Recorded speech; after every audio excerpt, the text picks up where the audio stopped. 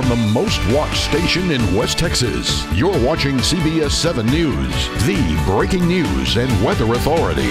CBS 7 Morning News starts now.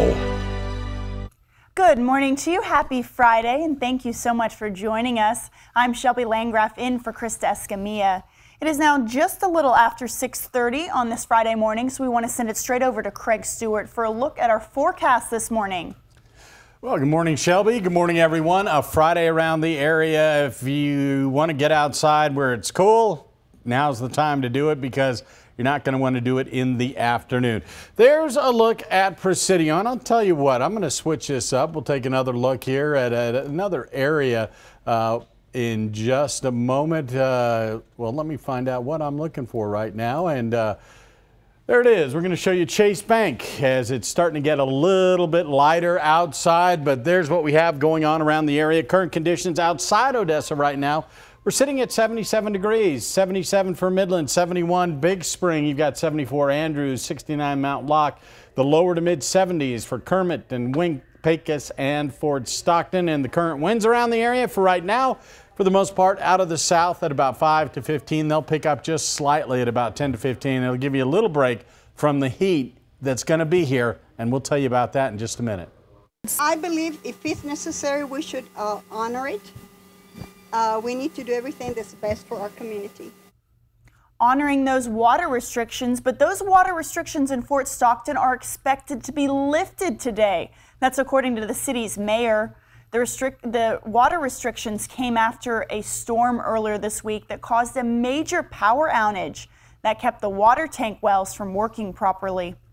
To the amount of water that was running everywhere, uh, the power trucks could not even get out there to try to service it. We are learning that the city of Fort Stockton is looking to get a permit for a water backup system. A proposal for this system is set to be presented to Pecos County in the near future. Well, from storms to hot, hot weather today, not just in our area, but across the state. And earlier yesterday, a child found in a hot car in Houston died from that heat. Authorities say the three year old was rushed to the hospital in cardiac arrest. He died yesterday afternoon. The Houston Police Department Homicide Division is now investigating. Let him go, let him go. Tactical Force Team from Texas State University is arming our local officers with tools that will prepare them during an active shooter situation.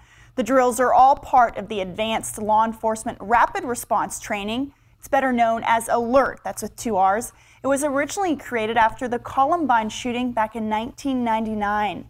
Instructors with the program travel around the country training federal and local law enforcement officials as to how to respond and care for victims in an active shooter situation. This time, alert was held right here in the Permian Basin, where training kicked off for FP FBI, OPD, and ECISD officers. Oh, it's great satisfaction knowing that you're out there helping the community that you work in, and that's what we wanted. That's our biggest goal is to save lives, stop the killing, stop the dying, and help the community that we live in. Tommy Villanueva is an alert instructor who says he has experience on the police force before he became an instructor. All the different departments and agencies that participated in this training say they will also now conduct their own drills. Legendary Texas Ranger Joaquin Jackson died Wednesday night after a courageous battle with cancer. He was part of the Texas Rangers, which is the oldest or one of the oldest statewide law enforcement agencies in the entire United States. The Ranger also appeared in Hollywood films with actors like Tommy Lee Jones. Now in the midst of the sad of this sad time, one community is finding hope in memories of the beloved Ranger. CBS 7 Michael Esparza reports. Bells chiming in the peaceful town of Alpine remembering a hero who has now passed on. Uh, we ought to celebrate Joaquin's life uh, instead of uh, mourning him because I think that's the way he would have wanted. The late Texas Ranger Joaquin Jackson died of cancer at the age of 80 in his home surrounded by those who loved him most. Sheriff Dodson says he got a call from his wife Jewel late Wednesday telling him of the sad but expected news. I got the call and and uh, we responded out to his house and uh, you know the family uh, you know, expecting it like it was. You know, it's it, it's a shock. A man who needs little introduction. Joaquin Jackson was six foot five of tall, and he had a good old grindy, gruff, gruffly voice, and uh, he had a big old grin and a cigar sticking out of his mouth, and and you know, and he was the type of guy that never thought he was better than you. Will forever be in the hearts of those he inspired. 25 years ago, when I met him, uh, you know, he taught me as a young officer, and he showed me lots of things. When you talk about him being a, a, a lawman, you have to also bring in now in his recent years his acting career. Uh, I'll say I, I think he was a better lawman. so.